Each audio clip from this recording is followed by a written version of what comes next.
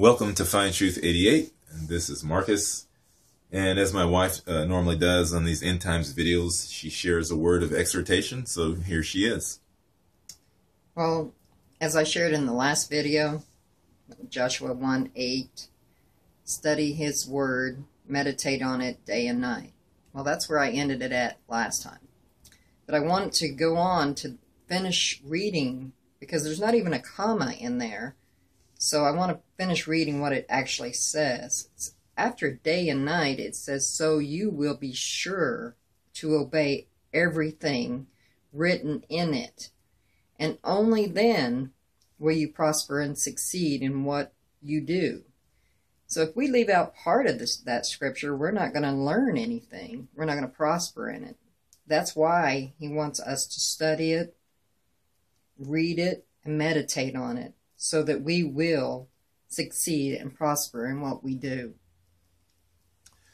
You know, and two, as as we seek the Word of God, that's how we get a relationship with our Lord Jesus Christ. That's how we get to know God. We get to know Him through the Scriptures. You know, we all are going to make mistakes in our life from time to time. So obviously, you know, the Lord doesn't expect us to be flawless. So the mistakes are going to be there, but the Lord does expect us to give us to give him us our hearts. And so, yeah, I want to take you to uh, first or Titus chapter 1, verse 16. It says that they profess that they know God, but in works. Now, I, I want to be clear in this because nowadays you have to because people are running around calling everything works of law, works of law. He's talking about works that are produced by the Holy Spirit here. But in works, they deny him being abominable and disobedient, and unto every good work reprobate. Good works that are produced by the Holy Spirit. So many claim to know God. Many claim to be followers of Christ. You know, uh, what would you think if you got married and your spouse just up and ran off and says, okay, now that we said the I do's, I'm going to hit the road and never going to see you again you know, something's wrong about that. I mean, that would be like the person never really gave uh, gave their heart, and that they never planned to have a relationship with that spouse. They just wanted to go through the motions and then hit the road. And sadly, many are doing that in the body of Christ. You know, you hear this teaching that oh, uh, just grace only, and that's it. And the funny thing is, I, I, I, have not been able to find that grace only scripture that people were quoting. They don't actually give a verse when they quote it; they just say it, and then they get, you know, that's kind of funny. But anyway, uh, Ephesians two eight does go on to say that we're saved by grace through faith. Galatians three fourteen says that we're saved through faith. That's how we receive the promise through faith. You know, there's a popular scripture in Philippians that says that that I can do all things through Christ who strengthens me. Now imagine if we took out that last part and just said, I can do all things. Well, sadly, I think that's what the problem is with a lot of the church. They just think they can do all things. So we have to take the word of God when we read it and read it as it is, as it is and not change the scripture, not change Jesus. Uh, we have to be happy with who Jesus is, happy with our relationship with him. You know, we have to be in love with Jesus, in love with his word. Over in Matthew chapter 7, the Lord's talking about seekers. Matthew 7 7. He's talking about seekers. He's talking about the church being seekers. Are we going to be seekers? Luke 18, same thing. Are we going to be seekers? Are we, are we going to have that persistent faith? Hebrews 11 6. Are we going to have a persistent faith? Are we going to be hungry and seek the Lord? You know, Jesus said in Matthew or, or in Luke 6 46, why do you call me Lord if you refuse to do the things that I say? So, are we going to be that? Are we going to be a, a, a, body of followers? Or are we just going to be part of the hype crowd? You know, Jesus says in, in, in, in Matthew chapter 7, verse 20, wherefore, wherefore by their fruits you will know them. You will know them by their fruits. You'll know them how, uh, by how they live their life, by their lifestyle.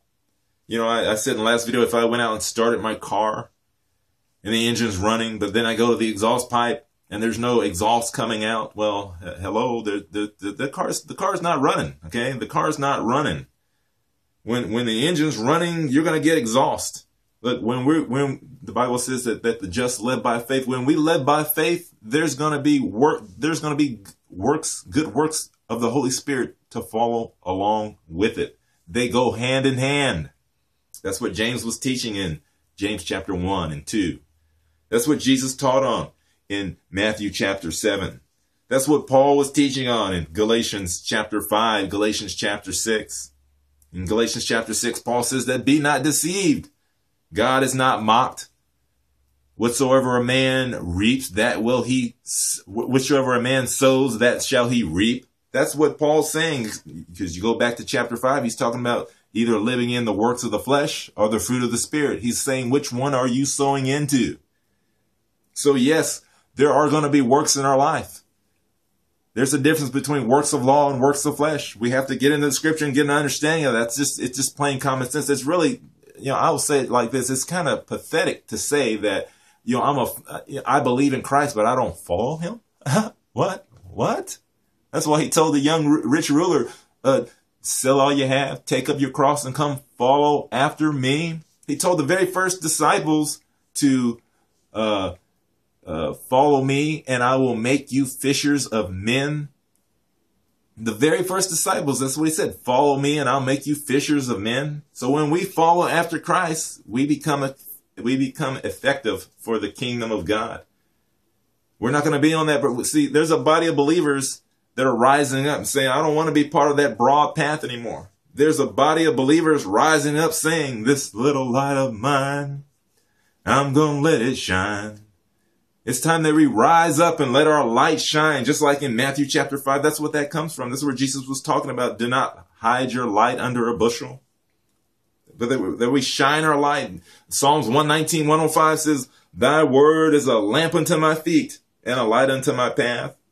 The scripture also says that we walk by faith, not by sight. As our, as his word leads us every step we take, we walk by faith and our faith produces good works. Our faith produces the fruit of the spirit in our life. You know, if I, if I believe there was a pallet of gold sitting in the street right now, I would not be doing this video. I would be running and collecting the gold. See, my faith causes action. My faith causes me to act. It's, it's just totally hilarious when I hear people say that they're in the faith, but they're not, there's, there's no good works producing in their life. There's no good works of the Holy Spirit producing in their life. Jesus likened that man who, who built his house upon rock. He says, I, I will liken that man to, to, to, to a wise man. But he says, the foolish, stupid man is the one who rejected my words, didn't want to hear my words. And that's why he said in verse 21 through 23 of Matthew chapter 7, I will say unto the one who disregards my word, depart from me, you who acted wickedly, disregarding my commandments. So yes, we're to be followers of Jesus Christ. Come on, hello. We're to be followers of Christ, followers of his word. Follow me and I'll make you fishers of men. The very first, excuse me, the very first disciples. He said to follow me and I will make you fishers of men. That's how we become effective for the body of Christ. We follow after Christ. That's how we make an impact and get people saved is by his spirit, by the leading of his spirit in our life. So it's 2013. It's the end times. End times 2013. The arrival of the new world order. You know, and as we are aware, this is the, the new world order has been, been the infrastructure, I should say, has been being put into place for many years. Step at a time, event at a time. Things and laws have changed in our land, uh, benefiting or turning toward this one world government, this new world order, this police state. You know, uh, you know, we can look as far as back to Andrew Jackson and his battle with the central bank. Andrew Jackson did not believe in having a central bank. He did not believe in having pri- private privately owned banks uh, issuing out the currency for our nation. He saw the corruption in that. He saw the evil in that, how they could control uh, the systems and, and twist them, twist it. It is Andrew Jackson who actually said it is to be regretted that the rich and powerful too often bend the acts of government to their own selfish purposes. See, Andrew Jackson saw the danger in having a central bank and having them issue our currency. And he fought against it. You know, he had an assassination attempt against his life. You know, the powerful, when they don't want to get their way, they will do anything to get their way. You know, it is also said that 98% of the wealth is owned by 2% of the population. You know, it's also said that that, that the uh, Rothschild family, one of the richest on the planet, obviously, uh, has has in the upwards of 400 trillion uh, in their accounts, uh, or they they own up in the upwards of 400 trillion dollars. You know, and I'm not going to debate with the numbers, but we know that there are some very rich and powerful elites on the planet. And when you have money uh, and you own the banking industries uh, or influence them, uh, the healthcare and phar- pharmaceuticals, and this is what I'm reading off the left side of the board here energy and oil, media, education, you start to affect the home, the family, and sadly, the church, because there's many coward preachers and teachers who will not stand up and teach the truth of the Word of God, but they're more concerned about how many people are going to fill up in their church because that's donations. They're, they're concerned about donations. You know, we even see this on YouTube. You know, thank God for the preachers and teachers of the Word of God who are receiving donations and helping others by sharing and, and giving Bibles and helping those get food. And so, you know, I'm not talking about those who, who, who take uh, the, the, the donations and help others with it. But there are some who take donations simply because of the fact that uh, they don't want to get a job, and they don't want to work. And then they teach these watered down messages that are not feeding the flock they're not feeding the church. They're, they're, they're, they're, they're teaching the milk of the word of God, if at best the milk of the word of God, and, and teach anything far from the meat of the word, which causes a watered down, a watered down uh, version, which is teaching a watered down version of the word of God, which, uh, you know, in turn gives a, you know, there, there's a weak following. You know, people are not, uh, for the most part, so many are not into the word of the God. They're not, they're not into the word. They're not into the meat of the word. Thus, they're not strong in the Lord and the power of his might. So we want to be strong in the word of God. And again, Matthew chapter seven, Jesus says he, he would liken the one who stood upon the rock as the wise man, the rock of the word of God. Psalms chapter 40 says, you know, he set my, he pulled me out of the miry clay and set my feet upon a rock and put a new song in my mouth, a song of praise. And many shall see it and come to the Lord because of it. Talking about that light again, this little light of mine, I'm going to let it shine. Are you going to let your light shine?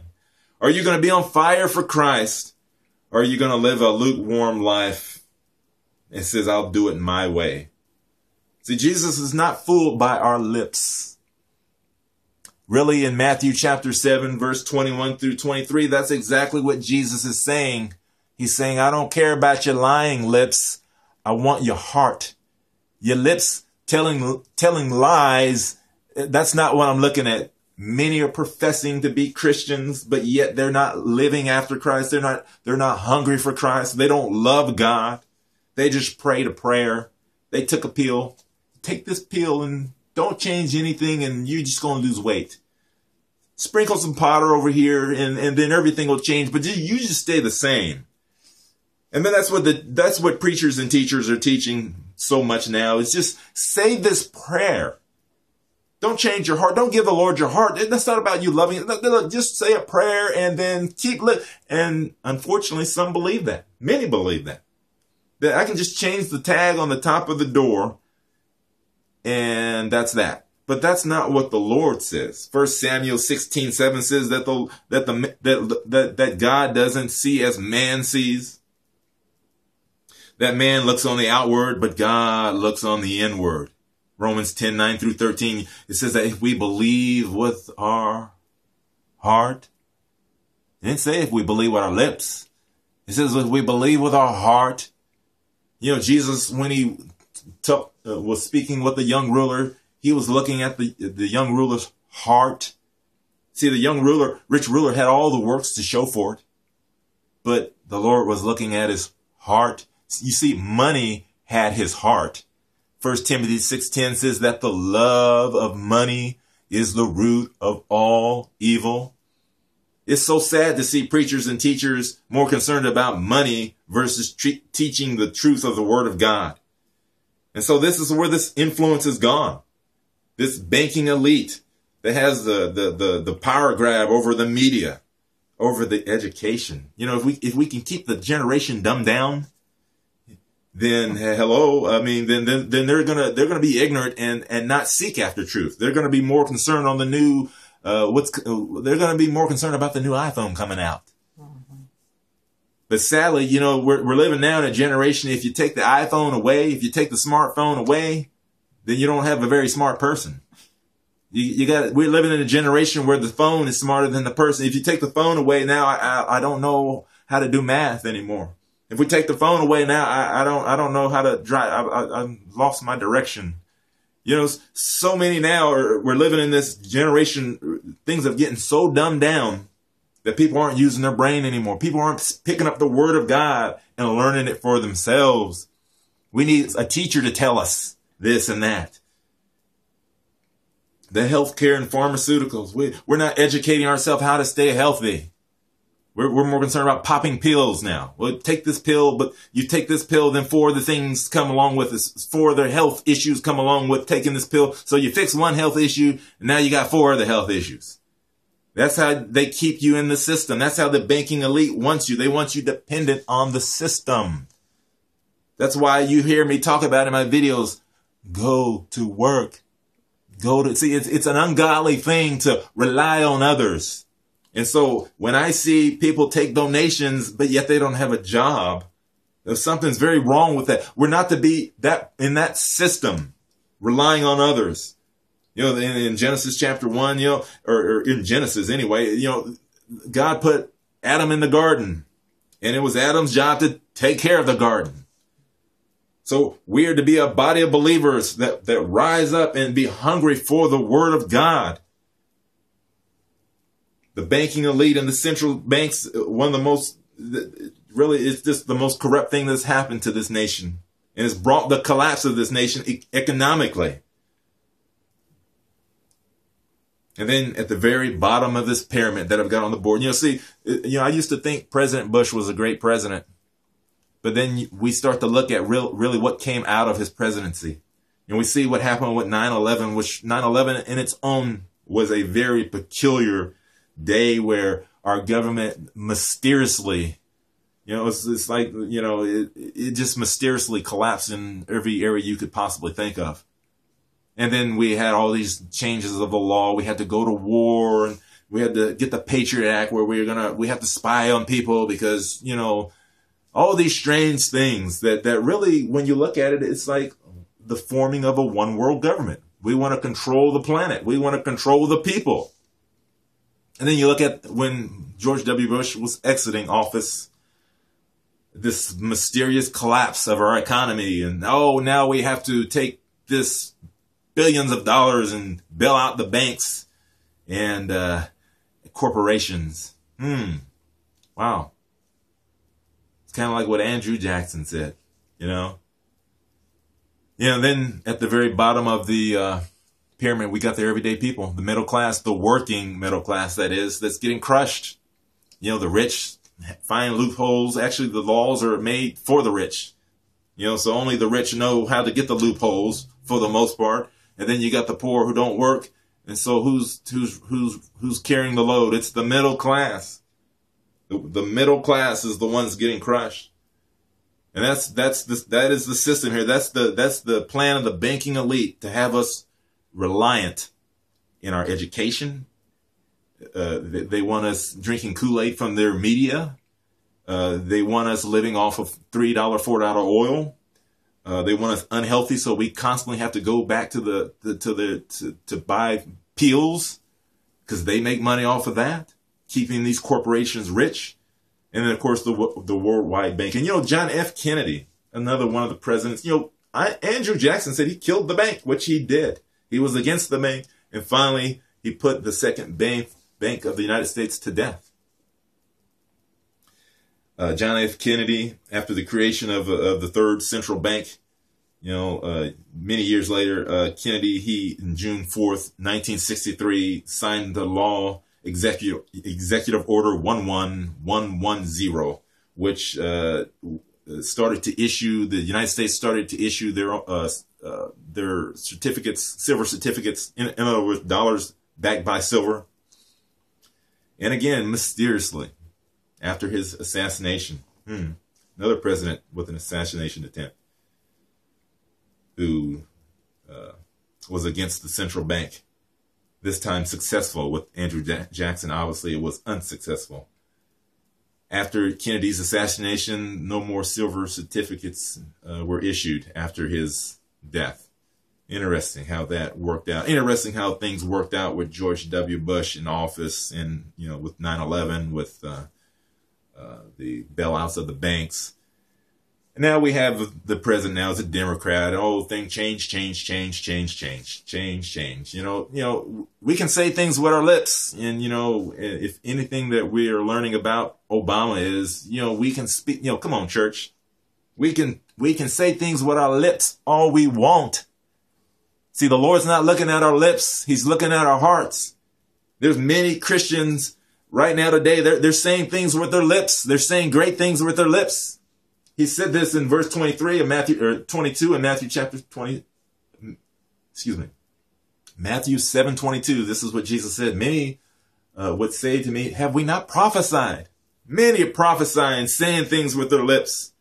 You know, even Obama's saying a lot of things with his lips. He's a great talker. And there's many Christians who are great talkers, but yet their heart, they have not given it to Christ. That's what Titus 116 says that, that they deny me with their actions. They saying one thing with their lips, but in their, with their heart, they're doing a whole nother thing. Proverbs 423 says, uh, uh, for out of the, the heart flows the issues of life. Hello, the Lord's looking at our heart. Thank God for signs. See, here in the end times, we're seeing signs. And so the signs are to wake us up. So we turn paths. So we change directions. Even back in the days of Moses, that's what the signs were for, to wake the Pharaoh up. But the Pharaoh chose to ignore the signs and continue the same direction and path in his heart. His heart continually got more hardened. So instead of the signs giving him a heart check, you know, that's like Second Corinthians uh, uh, 13, 5 It says the to, to, to see if we are truly in the faith, to, to take a heart check to see that we're truly in the faith. See, instead of the Pharaoh doing that, he continued to press on. And sadly, today we have many who proclaim to be followers of Christ, many that are professing to know the Lord, but yet, with all the signs going on around us, they still continue to press in the same direction, still unrepentant, still have a prideful attitude, will not repent still on that broad path, still, still in, you know, they were partying beforehand, before they professed or, or, or prayed the prayer, and then partying after. No change. Look, if you're still hanging around the same crowd, doing the same thing, partying the same parties, then you probably haven't given your life to Christ. All you did was just change the, the, the door tag over, over, over the, you know, all you did, did was change the sign over the door. No, the Lord wants our hearts. If we believe with our hearts, it is to be regretted that the rich and powerful too often bend the acts of government to their own selfish purposes. This is the day we're living in. Ecclesiastes 1 9 says, There is nothing new under the sun. What's happened before will happen again. Like the Tower of Babel, there was that one world government. Of course, the Lord did away with that. And here we are again today. We're at the very end of days. We're at the very last of the time, last days, I should say. So here's the deal. Are we going to wake up? Or are we going to play church games? Paul said in, in 2 Timothy chapter 3 that that many would have a form of godliness, but deny the power thereof. Deny what? The, deny the power of the Holy Spirit. Acts 2.38. Acts 2.38. I encourage you to read that. Do you want to receive the power of the Holy Ghost in your life? Do you want to be spirit led? Galatians chapter 5. Talking about the, the works of the flesh versus the fruit of the spirit. It said that those who are Christ have did what? Crucified the flesh. But there's many who say that if we do anything, that's that's negating the work of the cross. Huh? If we follow the word of God, that's negating the work of the cross. wow. I mean that that's just uh, you know that's just pathetic that that some will actually teach that because Jesus said to be doers of the word. Matthew chapter 7, 24 through 27. He's speaking of being doers of the word of God. Are we going to build our house on that rock? Are we going to are we going to live by the world system? You know, it, it's it's interesting how the the uh, uh, the church is more considered about that 501c3 than they are teaching and preaching the truth of the Word of God. The funny thing too is I thought there was a separation between church and state. So how is uh, you know it's funny how that works out. You know, it's time that we forget about the 501c3 and start getting into the Word and teach them and preach the Word of God. You know, I want to share some scriptures with you. You know, First Peter 2 9 says that we've been called out of darkness. We're, we're, we are a peculiar people. We should be peculiar. But sadly, many in the body of Christ, they're not peculiar because they, they're acting just like the world, if not worse than the world. Because they think they can get away with it because they prayed a prayer. And again, it's not about the prayer. The Lord doesn't care about our lips. He's looking at our hearts. Have we given our hearts to Christ? And, you know, when we give our hearts to Christ, the Lord will give us new desires. I believe that's Psalms 37 4.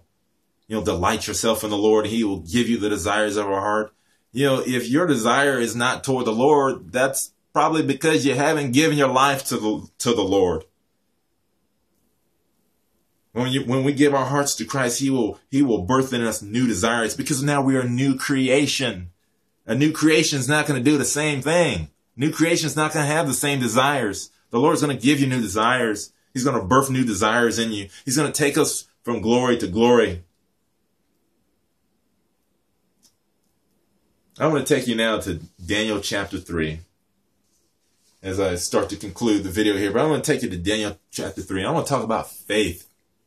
You know, Paul said in the last days that many would depart, that some shall depart the faith. This is 1 Timothy 4 1. Some shall depart the faith giving heed to seducing. See, seducing spirits are subtle.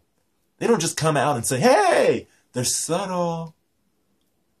Giving heed to seducing spirits and doctrines of devils. So I'm going to talk about faith, faith, faith, because biblical faith, James chapter 1 and James chapter 2. James is speaking of faith. He's not talking about works of law. He's speaking of faith. Hebrews chapter 11, speaking of faith. That's why, again, 2 Corinthians 13 5 says to check to see that we are truly in the faith. Biblical faith. Not what America calls faith. Biblical faith. We find out what faith is by looking in the scripture. And I will say this faith follows Christ. Faith obeys the word. Faith. Real faith. Faith. Faith is nowhere in the scripture does it say faith is praying a prayer. Nowhere in the scripture does it say faith is just popping a pill. Okay. Daniel, I'm going to show you some faith here. Daniel, uh, you know, this is a, look, we're to grow in the word from glory to glory. Look, we all make mistakes. We all make bad choices and bad judgments. When we do that, get up, dust ourselves off and continue to move forward. Mistakes will happen along the way, but we don't set our, we don't set up a tent and get a sleeping bag and live there. So I encourage you, if you make a mistake or a bad choice, get up, dust yourself off, and continue to move forward in the Lord. thank God for his mercy and grace to forgive us of those mistakes when we make them. But we don't live in those mistakes. We get up, dust ourselves off, and move forward. Now in Daniel, Daniel had some friends, Shadrach, Meshach, and Abednego. And this is the kind of friends I want to have. I want to have some godly friends. I want to have some friends who says, you know, I'm not going to bend over backwards for nothing here. I'm going to, we're, we're going to seek the Lord. And so King Nebuchadnezzar says that, hey, you know, when you hear the sound of the music, you're going to drop to your knees and you're going to bow down. You're going to worship my golden idols. You don't, I'm going to throw you in the fire and you're going to burn. Well, Shadrach, Meshach, and Abednego says, uh, uh, whatever, Nebuchadnezzar, uh, we're going to worship the Lord God. We're not going to worship your graven images or whatever. So you can do what you do. They say if we burn, we burn, but know this, we stand in the Lord. Well, King Nebuchadnezzar, the scripture says that he got so angry that his face distorted. He got so angry that his face distorted. They refuse to worship his gods. We follow our Lord. We follow the Lord God Almighty, and we will not bow down. Now, that's the kind of faith, that's the kind of people I want to surround myself around. I don't want to surround myself around, around flaky Christians, windsurfing Christians is what I call them. Whichever way the wind blows. Windsurfing Christians, windsurfing, windsurfing Christians, you know what they do? They wait for the next biggest wave to come. They're like uh, doped up surfers waiting for the next big wave, the next exciting thing to come out.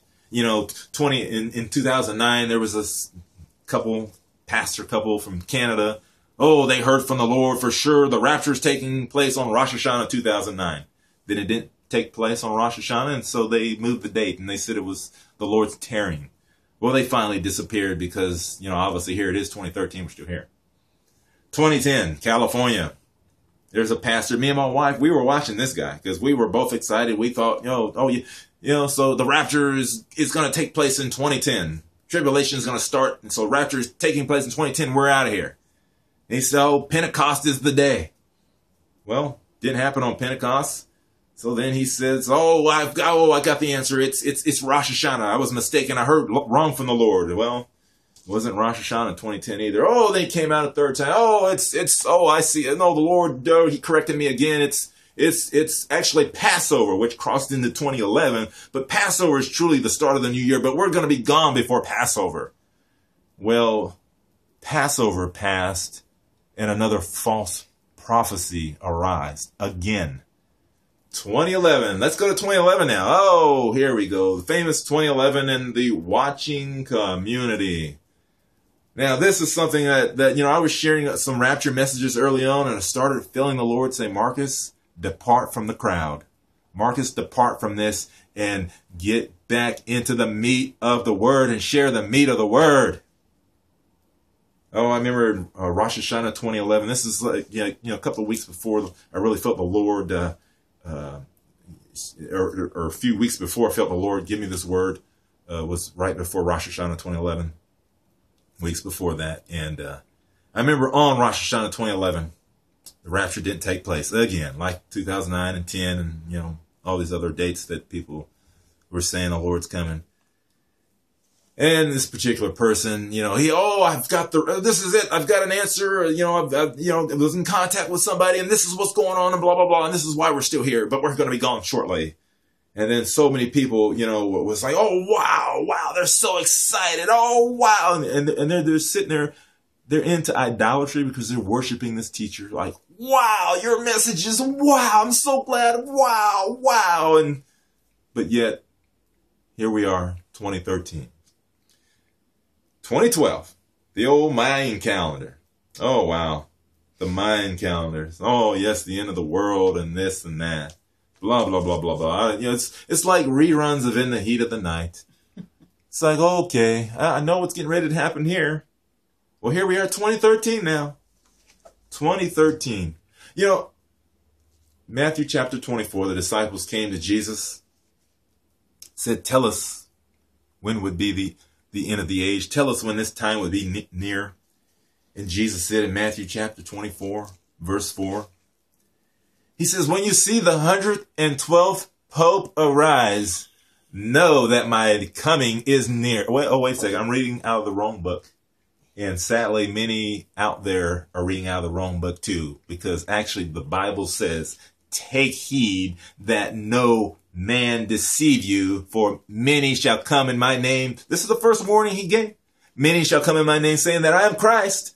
Christ being the anointed one. They're, they're anointed to share the word. They're anointed. They have a word. They have, they have the answer. Look, when man comes running to you with the answer, Oh, I have the answer. I have the answer. This is it. This is it. Come on. It's kind of like Waco. Hello. Yeah. Waco. So many cults, so many people being deceived by men. Look, let's seek the word of God. Let's seek the truth of the word of God. That's where we're going to find truth. Jesus gave us the signs of the end in Matthew chapter 24. That's good enough for me. I don't need man's word. I don't need to get hyped up. I don't need to get into, look, I don't need to look for the next new wave. I don't need to worry about some pastor in Canada talking about Rapture 2009 or pastor in California talking about Rapture 2010 or somebody on YouTube talking about 2011 or the 2012 calendars. Look, forget the Mayans, forget the Pope, forget all this hype, trash, crap, forget it all. Or as the Bible calls it, dung. That's what it is. It's trash. Get in the Word of God. Seek the face of Jesus. Get your eyes on Jesus, looking on to Jesus, the author and finisher of our faith. Don't look to Marcus. Don't look to your pastor. Don't look to the favorite person on YouTube who's so charismatic and have the cutest smile. But oh, by the way, by the way, give to my account. You give to my account if you feel led. Look, if you feel led, you might have a pencil stuck in your arm. Jesus said to take heed that no man deceives you.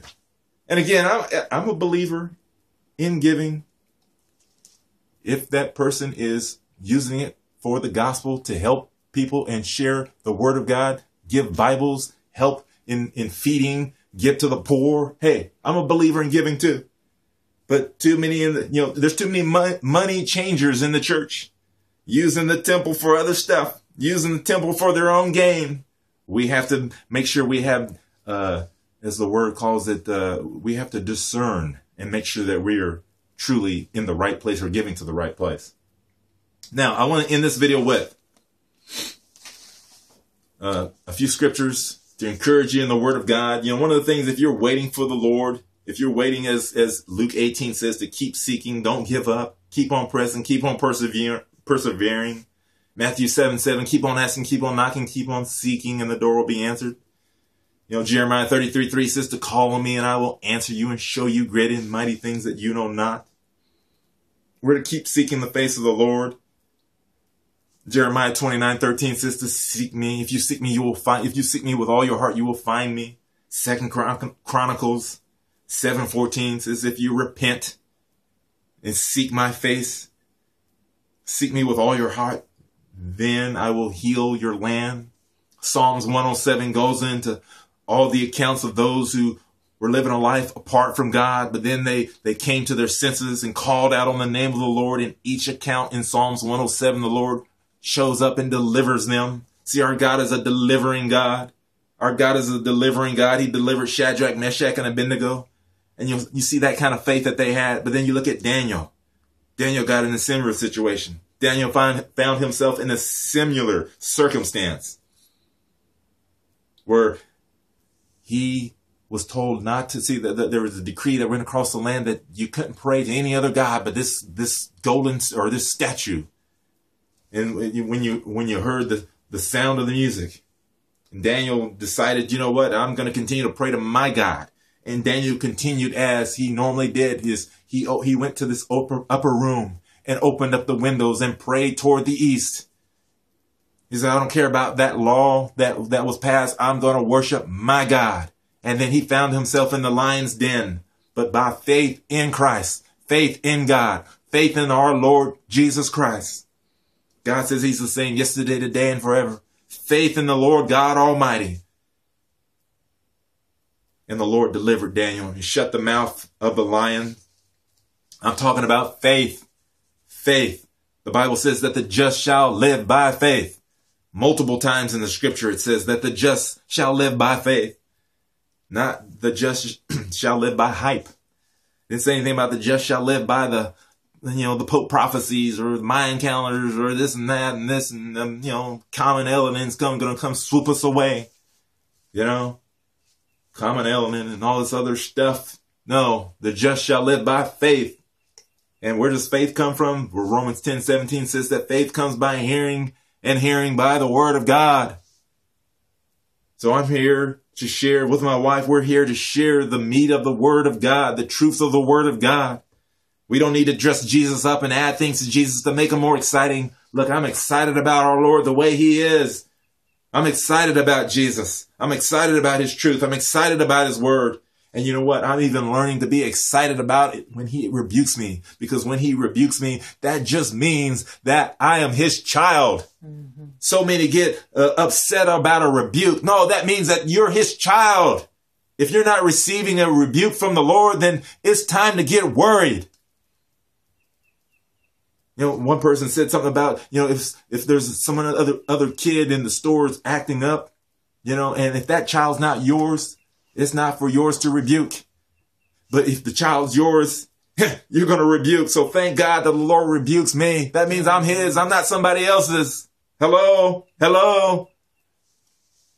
First Timothy chapter 4, verse 2. This is to, to, to reprove, rebuke, and exhort with all long suffering and doctrine. For the time will come when they will not endure sound doctrine, but after their own lust so many people lusting after the next wave. Oh, what's the next exciting thing? Urgent, urgent, bold letters, vision, dream, space shuttle, explosion, rapture, pope, nonsense. Lusting after all that nonsense. No, no, I'm hungry for the word. Look, there's a body of believers rising up that are starting to hunger more and more after the word of truth, after the word of God. We're not to seek after all those things. We're to seek Jesus. Jesus. And lastly, Matthew chapter 14. I'm talking about looking unto Jesus, the author and finisher of our faith, looking unto Jesus. This is, this is what Peter did, Matthew chapter 14. They're in the middle of that, they're in the middle of that storm, the middle of that lake, in trouble. Jesus comes to them walking on the water and they start freaking out. And then, Jesus says, Oh no, don't worry. It is I. I am that I am. I am that I am. And Peter's still not sure. Well, well, Lord, it's, if it's really you, allow me to come to you by walking. See, Peter wasn't even sure. Jesus said, Jesus spoke a word. He said, come. See, when the Lord speaks, that's the word of God. See, uh, we either going to obey the word of God or we're going to ignore it. Well, there were some disciples that chose to stay in the boat. And Peter says, well, I'm going to rock the boat. Say, are, are you scared to rock the boat? Are you scared to go against the flow? Do, do you just want to, you want to fit in? See, so many people just want to fit in. No, I don't want to fit in. I want to be like a salmon upstream, jumping the waterfalls, doing the, you know, that's like, that's like a miracle. A salmon can jump a waterfall. Are you serious? The flow, that's a miracle. But that's the, that's the, that's the way our faith is. Our faith causes, we can do all things, hello, through Christ, through Christ who strengthens me. I'm talking about faith. I'm talking about moving upstream. I'm talking about departing the bottom of the mountain where the party is at. You know, you know, how's that party work for? You? I mean, the, the, the ground kind of opened up and swallowed some of them up anyway. How does that work out for them? You want to hang around the party all the time? You want to hang around the hype crowd? You want to go with the flow. That's, that's, you're not going to find the Lord there. You know, the eagles fly high and they fly alone. Chickens, they hang in crowds low. You want to hang around the low places? Or do you want to be the peculiar people? Like First Peter 2 9, we're, uh, we are peculiar people, a chosen generation. We've been called out of darkness into his glorious light. This little light of mine I'm gonna let it shine. Yes. Peter stepping over that boat with his eyes on the answer. See, your, your pastor's not the answer. Your little favorite YouTube preacher, false prophet preacher, or whatever, who doesn't teach the word of God, he's not your answer. Even the teacher who teaches the word of God, he's not the answer. I'm not the answer. Jesus is the answer. Peter, with his eyes focused on Jesus, started to walk with his eyes focused on Jesus. And the scripture says, but when he when he started to, when he felt the strong wind and waves blowing, he took his eyes off Jesus and started to sink. See, Jesus is our answer. Keep your eyes on Jesus. But thank God we have a merciful God, a graceful God who says that call on me. Whoever calls on the name of the Lord shall be saved. That's Romans 10 13. Well, that's what Peter did. Peter did a Romans 10 13, called on the name of the Lord. And the scripture says immediately Jesus reached out and saved him. I'm talking about faith. Peter had a faith. He may have gotten weak in his faith, but his faith caused him to get up and jump out of that boat and stop hanging around the crowd. Sometimes you got to leave some people in the boat. That's. That's what faith does. Faith will leave people in the boat sometimes. Sometimes you have to move upstream and get away from the crowd. So I just encourage us in these last days where there are so many things. You know, 2014, there's probably going to be something else. It's probably going to be, like I said, Bigfoot or something. Bigfoot sighting somewhere, you know, Bigfoot, you know, something. It's always something. I just encourage us all to keep our eyes on Jesus, the author and finisher of our